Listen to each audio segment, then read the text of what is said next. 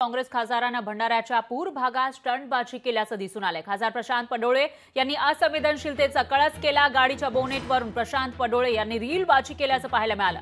अतिवृष्टीग्रस्त भागाच्या पाहणी दरम्यान त्यांनी रील बनवलेला आहे. तर खासदार प्रशांत पडोळेंचा रील बनवतानाचा हा व्हिडिओ व्हायरल झालाय. खासदार साहेबांच्या रीलवर शेतकऱ्यांनी मात्र नाराजी व्यक्त केली आहे.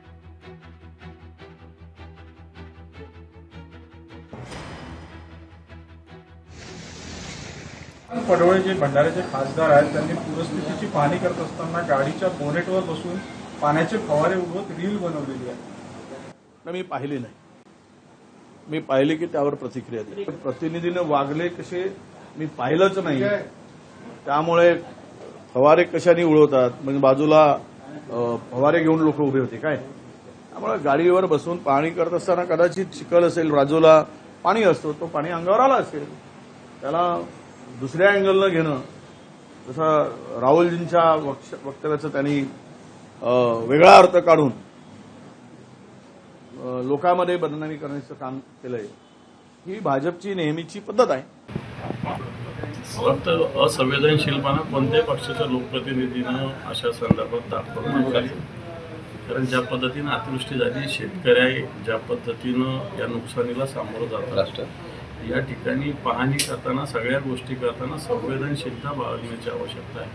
आपण काय शोभाजीसाठी जातो का शेतकऱ्यांना दिलासा देण्यासाठी जातो याचा विचार सगळ्याच लोकप्रतिनिधींनी केला पाहिजे. खासदारांनी असं करायला नको होतं. जेव्हा पूर परिस्थिती असते त्या टायमाला मदतीचा हेतू आपला असला पाहिजे.